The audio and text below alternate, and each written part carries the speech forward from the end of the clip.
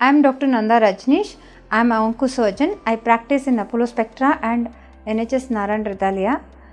And I practice mostly breast cancers and GI cancers.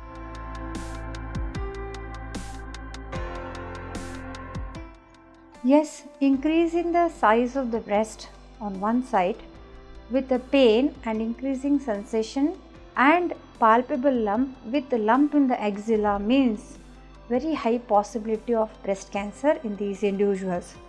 But if it is painful breast, it can be an abscess with the lymph nodes which are inflamed in the axilla which can be very painful and red and inflamed if it is an acute condition.